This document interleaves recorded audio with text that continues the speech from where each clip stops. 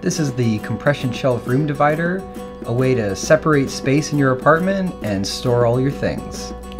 I balanced out the new style of the compression poles by weathering the wood and making it look rustic. I went to my local hardware store and got some pine planks and then cut them down to size. Pine is a great choice because it's inexpensive and readily available.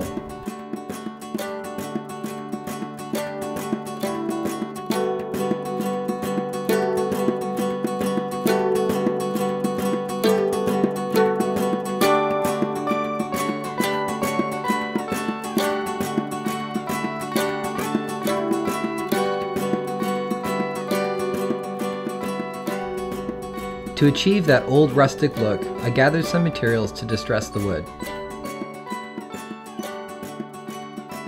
Using a variety of materials, you want to make irregular divots that'll stain darker than the rest of the wood. To give the wood depth, I applied layers of staining. I started with a steel wool and vinegar mixture, and then let that dry. I then applied a tea solution, and that turned the wood a light gray color.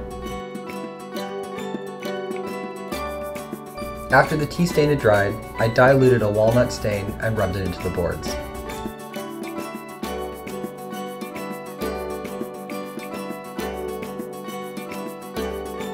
Lastly, I applied a whitewash pickling stain and then immediately removed it with a clean rag.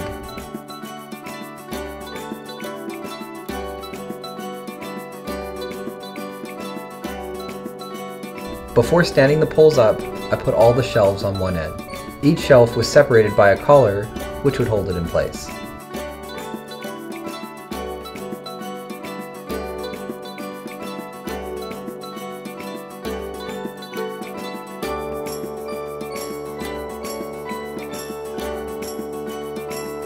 The end caps were placed on the compression poles, and then the entire assembly was stood up.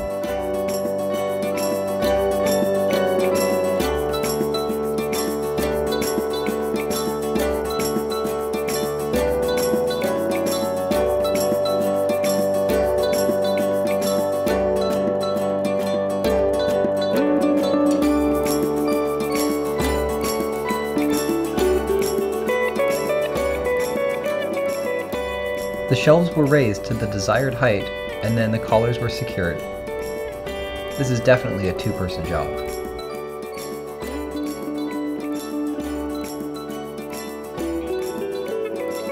I customized this project by making some of the shelving movable, so there's an eating area for my dog and a place for me to work on my computer too. See full details at Instructables.com.